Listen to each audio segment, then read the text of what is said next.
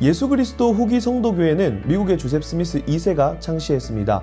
이 단체는 조셉 스미스 2세가 받았다는 직통 계시에 의해 시작되었습니다. 스미스 2세는 1820년 봄 하나님과 예수 그리스도를 환상을 통해 만나 어떤 교회나 교단에도 가입하지 말라는 명령을 받았다고 주장합니다.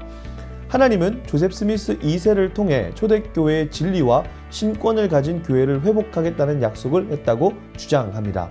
1823년 9월 스미스는 천사 모로나이를 만나 땅 속에 있는 금판을 발견하고 이를 번역하였는데 이것이 모르몬경이라고 합니다.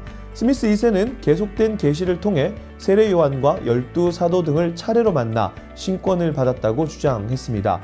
일부 다처제를 도입했다가 모르몬교회의 네 번째 지도자였던 윌포드 우드러프는 1890년 공식적으로 일부 다처제를 인정하지 않는다고 선언했습니다. 이들에 따르면 신도수는 2010년 말 기준 전 세계 1,400만 명 이상입니다. 약 7분의 1이 미국 유타에 살고 있으며 43%가 미국인입니다. 모르몬교의 공식 명칭은 예수 그리스도 후기 성도 교회입니다. 후기 성도라 함은 초기 기독교인들과 자신들을 구별하기 위해 붙인 명칭입니다. 한국에서는 마릴 성도 예수 그리스도의 교회라고 불리다가 한국 선교 50주년을 맞아 지난 2005년 정확한 번역을 이유로 예수 그리스도 후기 성도 교회로 부르기 시작했습니다. 모르몬교라는 명칭은 그들이 경전으로 삼는 모르몬경 때문에 붙여진 별칭입니다. 모르몬교는 한국 전쟁 기간에 미국 군인들에 의해 한국에 유입됐을 것으로 추정합니다. 한국 초기에 아주 영향력 있는 모르몬교 교인이 있었는데 바로 김호직입니다. 이승만 정권 시절 국비 유학생으로 미국에 갔던 김호직은 세례를 받고 신도가 된 것으로 알려져 있습니다. 숙명여자대학교의 전신인 숙명여전의 교장 출신으로 이후 문교부 차관까지 지내게 됩니다.